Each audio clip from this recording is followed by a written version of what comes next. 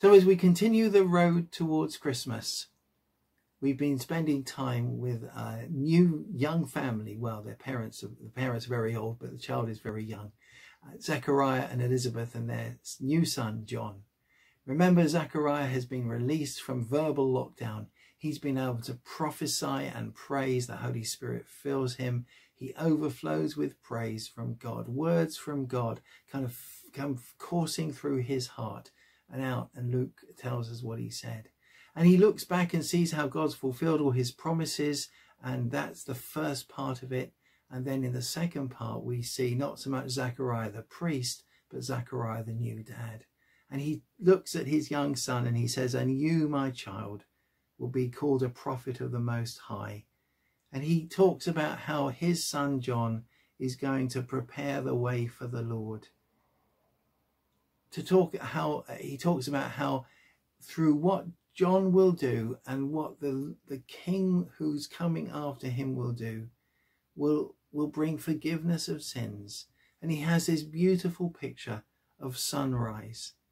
He says what's happening now is like the sun is rising and the tender mercy of our God is seen just like the sun rises so someone from heaven is coming to shine on those living in darkness and in the shadow of death, to guide our feet into the paths of peace, says Zechariah in his prophecy.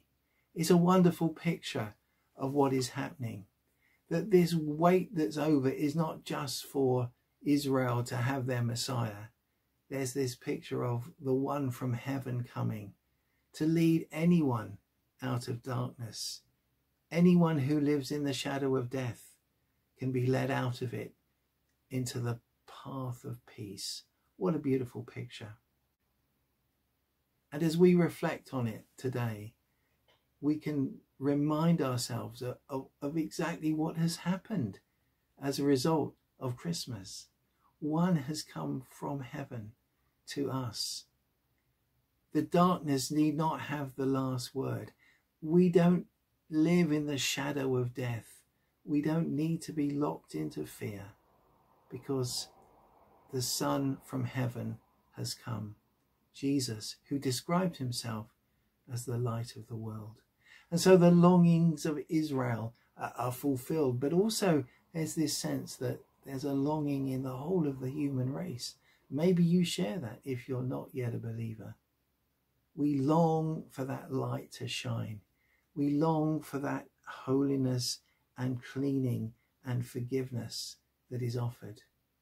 And Zechariah talks about it and he says that it's come. It's come in Jesus, the rising sun from heaven shining on us. Let's pray. We thank you, God, that the light has come to us from heaven just like the sun rises, just as sure and just as steadily. We pray that you would guide our feet into the paths of peace. We pray that today our lives will reflect the Jesus light to those living in darkness, because you want those who live in the shadow of death to be led out into the path of peace. Amen.